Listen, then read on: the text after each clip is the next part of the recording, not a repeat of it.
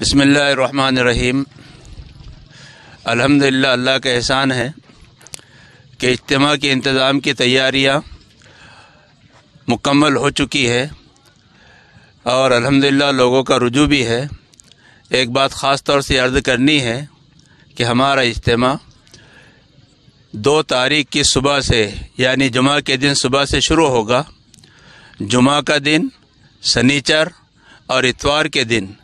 इतवार के दिन पहली मजलिस फजर के बाद होगी, दूसरी मजलिस नौ बजे के बाद होगी, नौ बजे से शुरू होगी और यही आखिरी मजलिस होगी और तकरीबन तकरीबन ग्यारह, साढ़े ग्यारह, यानी बारह बजे तक के दुआ हो जाएगी।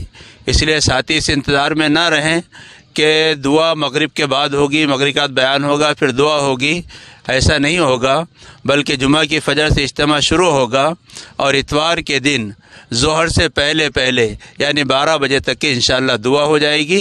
इसका ख्याल रखें, अपने साथियों को भी इसकी इत्तला दे दें।